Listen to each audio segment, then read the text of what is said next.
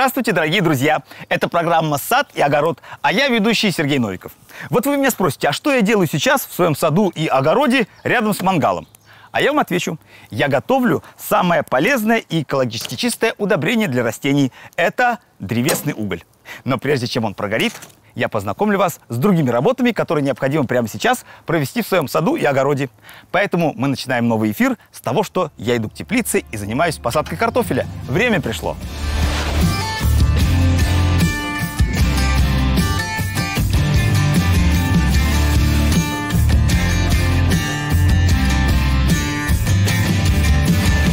Я с первого же момента покупки своей дачи знал, что всем растениям на моем участке будет непросто.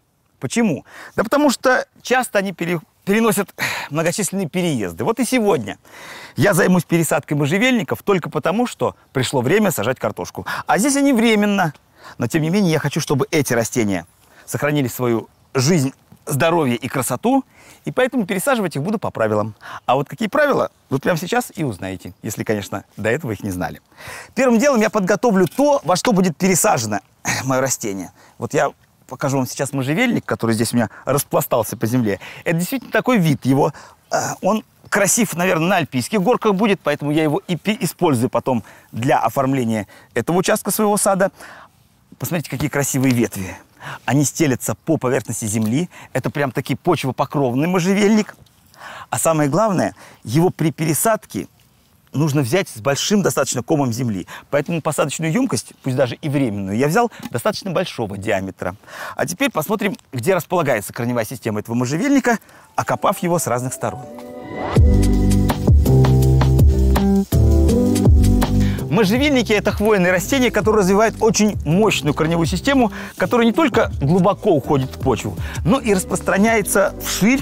И важно как раз при пересадке взять максимальную, максимальный объем почвы, который вокруг корней хвойных растений. Вот я сейчас попытаюсь сделать пробный капок и посмотреть, не будут ли повреждены корни при пересадке. Вот как раз приподнимая ветви, мы можем и обнаружить, где находится основной корень и большая часть ответвлений.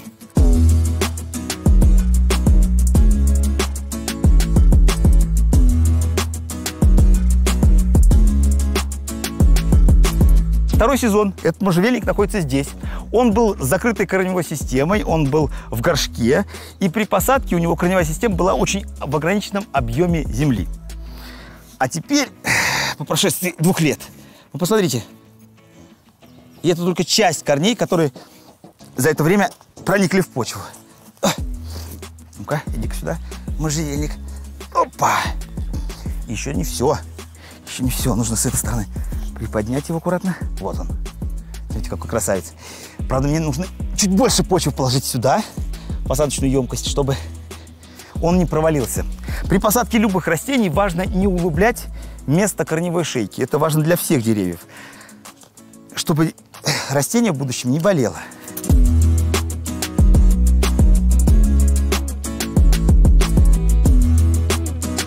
Расправляем корни в емкости, чтобы ни один не был на поверхности. И теперь со всех сторон плотно набиваем ту почву, которая росла возле корней. Конечно, подобная пересадка – это травматичная процедура для можжевельника, да и для любого растения также. Поэтому для того, чтобы снизить риски приживания на этом месте, а это опять-таки место временное у можжевельника, я буду использовать средства, которые помогут сохранить корневую систему в целости и сохранности, быстрее растению развить мощную корневую систему и укорениться здесь. И для этого я использую специализированное средство, которое называется коренник от компании Агрохим. И этим средством, э, вот для меня лично, очень легко пользоваться. Посмотрите, в пакетике находится 10 граммов вещества. Растворяется для укоренения растений это средство в соотношении 1 грамм на литр. В этой лейке 10 литров. Здесь 10 граммов. Это значит, что у пакет, пакетик этого средства я растворяю в лейке воды.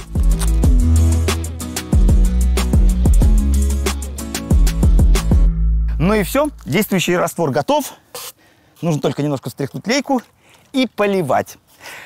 Этим средством мы никогда не обожжем корни растений, потому что это аналог натурального вещества, который помогает полностью корневой системе восстановиться быстрее. Можно даже поливать по хвое, ничего страшного не будет. Только запомните главную вещь.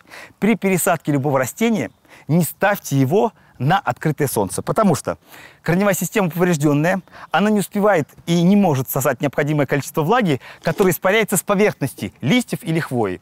И очень часто при пересадке высаженные растения в открытый грунт страдают от этого и погибают. Поэтому я воспользуюсь тем, что это растение сейчас находится в закрытой емкости, хорошенько полить, обязательно полить, чтобы промочился весь ком земли до основания, дождаться, пока вода полностью впитается, и полить еще раз.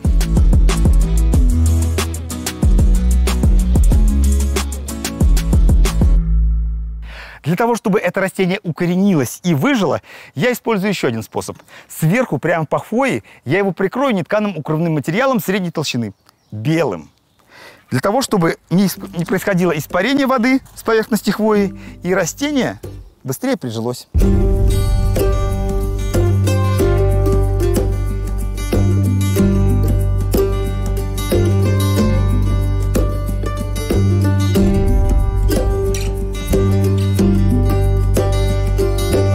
Каждое растение требует к себе особого внимания.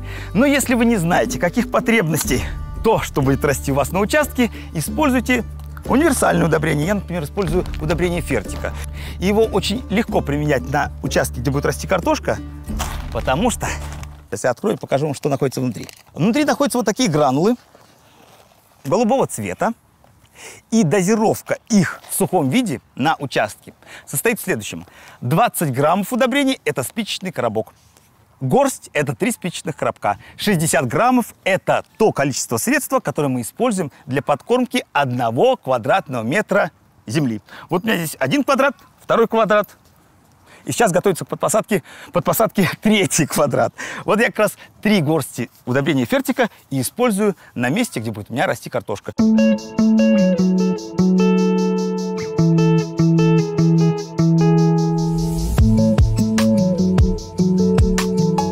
Того, чтобы удобрения в сухом виде начали работать, их можно либо растворить, либо использовать в сухом виде при перекопке почвы. И потом, после полива, они начнут медленно растворяться, передавая все самое ценное корням растений. Поэтому этот участок я перекапываю на штык лопаты только потому, что будет здесь расти картофель.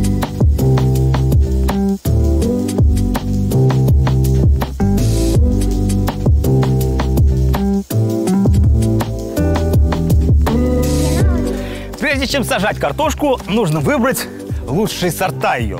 Например, мой участок совсем небольшой, поэтому я выбрал самые-самые лучшие и подходящие для меня два сорта. Во-первых, очень вкусные, во-вторых, необычные, а в-третьих, они у меня будут на участке выполнять еще и декоративную функцию. Это два сорта от компании Сидек – Триумф и Гурман. Для того, чтобы вы поняли, в чем преимущество этих сортов, мне нужно будет провести вскрытие клубней. Вот первый клубень я возьму самый крупный, сорта гурман. И я вам сейчас объясню, и вы увидите, почему он гурман. Оп! А вот и секрет. Картофель этого сорта содержит огромное количество антиоксидантов. Это вещества, которые препятствуют преждевременному старению организма. Антиоксиданты содержатся здесь не только в кожице, у картофеля очень часто бывает фиолетово окрашенная кожица, кожура, то есть.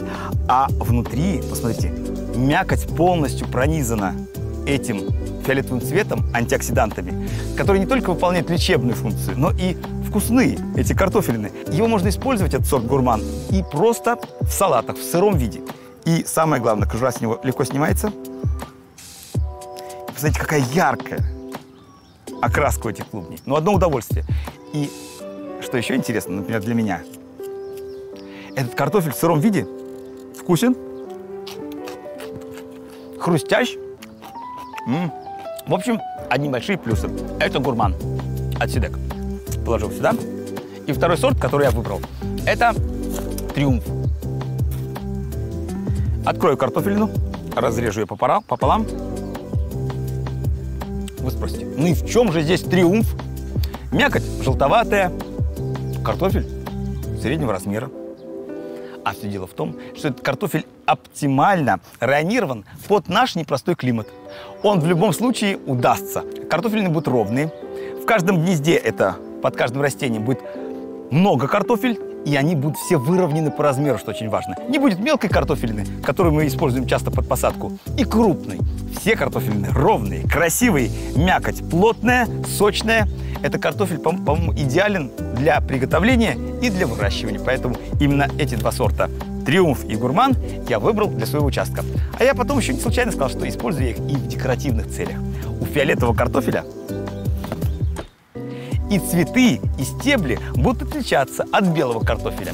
И я, пожалуй, фиолетовый картофель сорта гурман посажу по заднему плану, а триумф посажу спереди. И буду гордиться этими сортами и удивлять своих соседей и друзей.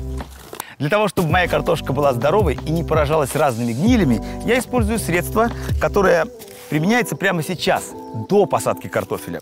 Правильно использовать средство антигниль от компании Агрохим следует способом, о котором я расскажу. Внутри упаковки находится вот такой пузырек. Этот пузырек, э, который находится внутри бумажной упаковки, содержит 25 миллилитров действующего вещества. 25 миллилитров используется для разведения в одном литре воды. У меня здесь пол-литра, поэтому половина пузырька я растворяю в опрыскивателе.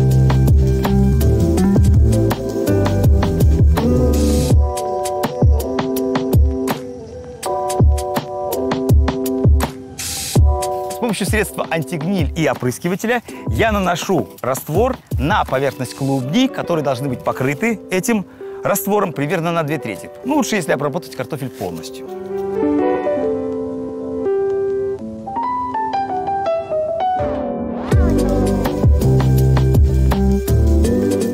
Я не стал даже выбрасывать те картофелины, которые вам демонстрировал, потому что даже вместо срезов мы обработаем этим средством, и они не будут поражаться гнилями. Только нужно будет немножко дождаться, когда картофель подсохнет, примерно 15 минут, и на поверхности начнет образовываться пробковое вещество, которое будет препятствовать и дальнейшему проникновению вредителей и болезней внутрь наших клубней. Поэтому я провожу обработку и забываю о картофеле на 15 минут. Все остальное средство сделает за меня. Оно продезинфицирует и предохранит мои клубни от заболеваний.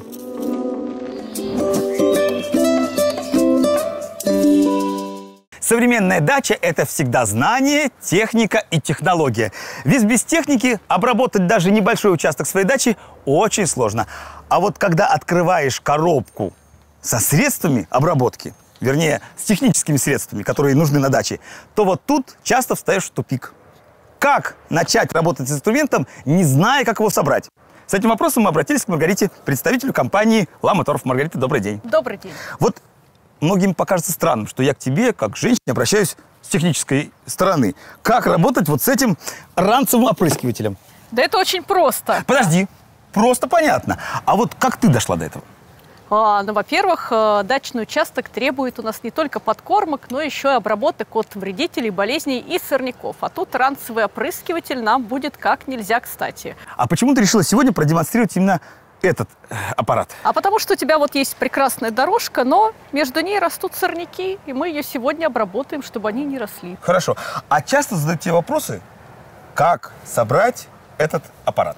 Да, вопрос возникает этот довольно часто, к нам обращаются каждую неделю с этим вопросом, и поэтому э, хотелось бы показать, как его собрать. На самом деле это очень легко. Маргарита, вот мне кажется, э, вот с вопросом техническим, да, чаще всего обращаются к мужчинам, но гораздо понятнее объяснить женщина, как с этим работать. Да, я после сборки напрыскивателя поняла, как можно подключить насосную станцию. Маргарита, с чего начинается знакомство с этим аппаратом и его сборка? А знакомство с аппаратом начинается с того, что его нужно открыть. То есть мы открываем коробочку и видим в ней только запчасть от шланга, да? Что это? Подожди. Это, наверное, труба, да, для... Да, для того, чтобы ее держать. Да, посмотри. держать. Какая интересная вещь. Вот. Проходи сюда, проходи, Миша. Достаем и видим вот такую вот серую штучку.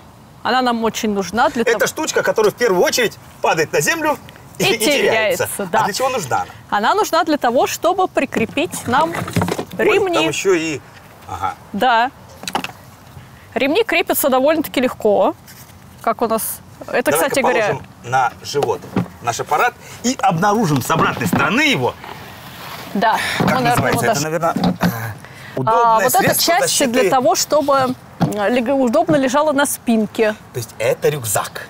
Да, по сути, эта конструкция крепится как рюкзак. И надевается наш опрыскиватель ремни очень просто. Мы протягиваем вот этот вот хвостик, Хомутик. хомутик, Вставляем ушки, вставляем ушки и а все. потом ты покажешь еще раз. И все. И вот, вот с этой стороны он уже прекрасно держится.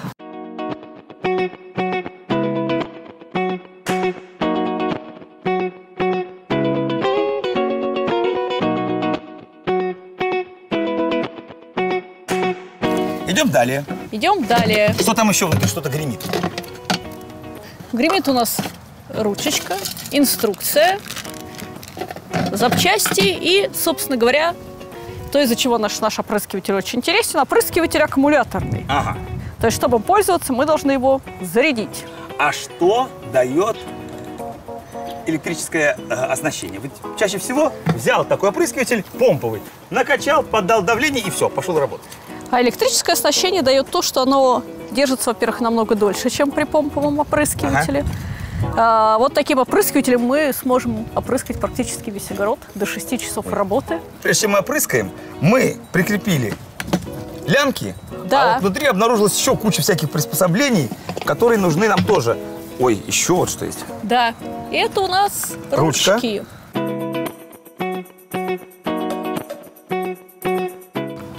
Это распылители, которые крепятся на, э, На кончик. на кончик штанги. Штуцера, да. Да.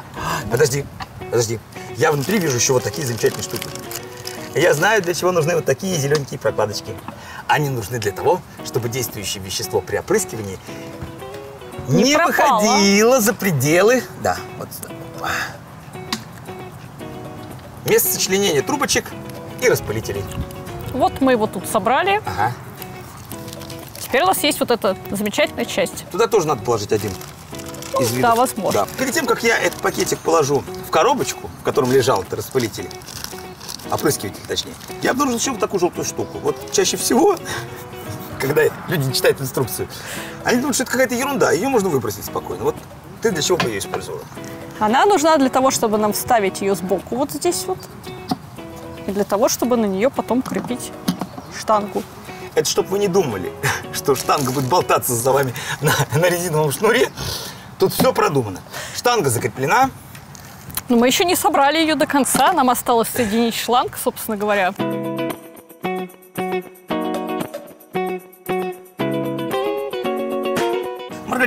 Получается, наш опрыскиватель готов к использованию? Осталось А. только вот ситечко поставить. Это я уже думаю, каждый догадается, что вставляется сюда для того, чтобы какой-то мусор не попал с ветром, да? И не засорил нашу штангу. Это самое главное. Ну и крышка. Да. А что еще? Но опрыскиватель-то у нас электрический и Значит? аккумуляторный. Значит, надо зарядить перед использованием аккумулятор. А где он находится, вот в этом опрыскивателе? А в этом опрыскивателе вот есть такое замечательное место. Вот тут, кстати говоря, как раз вот кнопочка включения. Открываем крышечку, и здесь находится аккумулятор. Но у нас он уже стоит на зарядке. Правильно поступили. Да, вот конкретно у этой модели опрыскивателя, который 10 литров, а мы, когда зарядим аккумулятор, он у нас отработает до 4 часов. То есть 4 часа гарантированно отработает. Мне больше и не надо. Пока наш аккумулятор заряжается, мы зарядим сюда средство, которым будем обрабатывать с Маргаритой дорожки от сорняков с помощью средства Спрут Экстра от компании Щелково Агрохим. Дело в том, что с препаратами этой компании мы работаем очень часто. Спрут Экстра – это прекрасный гербицид так называемого сплошного действия. Подожди, сплошного действия это отдельный эпитет. А что такое гербицид? А гербициды – это средства, которые помогают нам бороться с сорняками. Не выдергивай их. Не выдергивая, а, мы либо опрыскиваем либо почву, либо опрыскиваем сами растения. Как действует? А, Действует механизм действия у гербицидов разный. В принципе, все они по классификации относятся к регуляторам роста. Но есть у нас стимуляторы роста, которые рост стимулируют, а есть, э, грубо говоря, те, кто его угнетают. Вот гербициды относятся к тем, кто его угнетает. Ага. Вот. Значит, мы подкармливаем культурные растения и угнетаем сорняки. Да, в данном случае вот этот препарат у нас это гербицид сплошного действия. Что такое сплошного действия? А, то есть он действует по всем видам растительности. Сорняки у нас делятся на однолетние, многолетние, Однодольные и двудольные. однодольные, двудольные, да. Соответственно, каждый вид гербицидов, э, гербициды сплошного действия действуют на все виды растительности, включая древесную и кустарниковую. Поняла? Вот, то есть прекрасным вот этим препаратом Спрут Экстра, если мы захотим избавиться от нежелательного дерева или от нежелательного куста, это Даже тоже дерева? можно сделать. Да. А, в принципе, в самых высоких концентрациях этот препарат э, э, и можно обработать абсолютно, абсолютно все. Ты знаешь, я, конечно, верю всем специалистам, но специально прочитал на обратной стороне упаковки дозировку, которая поможет Да. мне работе именно на моем участке. И она, эта дозировка гласит, послушай меня, нужно разбавить, вернее, это растворить 25 миллилитров средства, а это упаковка как раз и содержит 25 миллилитров средства, растворить в 3 литрах воды и опрыскиваем сорняки в период вегетации, то есть сейчас. Да, э, суть этого препарата такова. Э, действующего вещества препарата Спрут Экстра. Но мало того, что по действующему веществу Спрут Экстра м, один из самых концентрированных препаратов. Нужно попасть на отрастающие сорняки, когда они находятся размером где-то 10-15 сантиметров. А В чем суть? Это препарат так называемого, системно-контактного действия. То есть он работает для того, чтобы он сработал, он должен По системе попасть... Станиславского, наверное. Конечно, да. Вот. Э, Чтобы сработать, он должен попасть на само растение, то есть на листья. Через листья он проникнет внутрь растения, распределится по сосудистой системе, и тогда уже будет воздействовать на корни растения. Механизм действия мне понятен. Теперь мы разводим это средство согласно инструкции, открывая упаковку и доставая пузырек, который содержит 25 миллилитров средства. Добавляем в наш ранец и разводим водой. 25 миллилитров действующего вещества на 3 литра воды. Да? 3 литра воды легким движением руки из этого ведерка, которое я специально подобрал по цвету к твоему распылителю, Да. заливаем, как называется, в рабочий отсек? Заливаем, да, в наш, В рабочий полдень, в рабочий отсек. наш опрыскиватель. Есть. 3 литра. Да. Теперь это мы можем перемешать. Я все сделал неправильно. Вот смотрите. Первым делом, прежде чем наливать воду, а в ней могут находиться всякие Да. пылевые частицы, которые Надо было загрязнят поставить ситечко. ситечко. А мы его не В лучших поставили. домах Европы принято разливать воду через ситечко. Так. Да. Маргарита, осталось только взять заряженный аккумулятор, Да. отсоединить его от блока питания. Вставить его на место. И можно теперь надевать его. И это лишь в очередной раз доказывает, что женщина, которая решила уничтожить все на своем пути, Да. способна на все, и у нее нет никаких преград для этого. Ты похожа на охотницу за привидениями.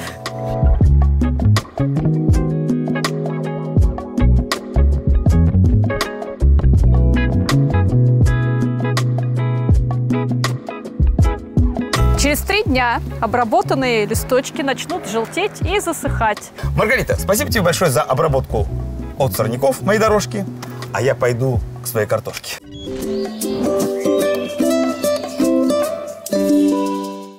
Я решил, что на моем участке два сорта картофеля, фиолетовый и белый, будет посажен в два ряда. По заднему плану эффектный фиолетовый сорта гурман, а по первому белый сорт триумф. И под эти сорта я не пожалел отвести лучшее место возле теплицы. Я перекопал этот участок на глубину штыка лопаты. Теперь с помощью тяпки разбиваю комья земли для того, чтобы корням картофеля было легко проникать вглубь почвы. И теперь нарезаю два рядка. С помощью тяпки тоже легко делать. Раз, два и три. Ну и я готов к закладке картофеля в борозды, которые специально сделал. Помогай мне. Так, начнем мы с фиолетового сорта, который является гурманом. Между клубнями картофеля я буду оставлять примерно 35 сантиметров для того, чтобы для каждого растения хватило необходимого питания. Два, три, четыре и пять. И теперь эти клубни я аккуратно присыпаю землей. Когда вы видите корневища сорняков непременно удаляйте их, потому что они, прорастая, могут повредить клубни картофель, и потом с ними очень сложно будет бороться. После посадки клубни картофеля, как и любой посадочный материал, нужно полить. Но я-то услышал прогноз погоды, что завтра будет дождь, поэтому я закапываю клубни и жду чудес от природы. Ну а по первому плану у меня будет декоративно выполнять функции овощного растения картофель под названием «Триумф» с белой мякотью, вкусный и красивый. Коль уж у нас было одного сорта 5 картофелин, я и другого сорта тоже 5 картофелин положу. Раз. Два. Три. Четыре. И пять. Раз, два, три, четыре, пять. Начинаю загребать.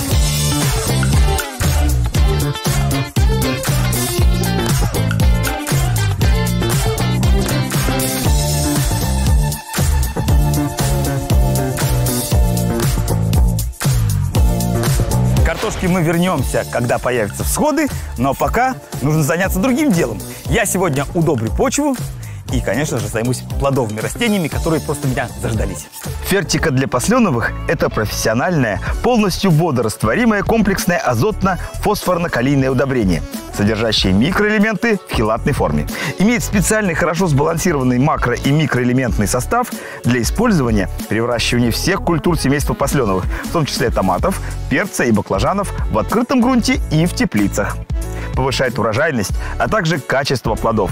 Применяется в виде водного раствора как под корень, так и в качестве листовой подкормки в течение всего периода вегетации.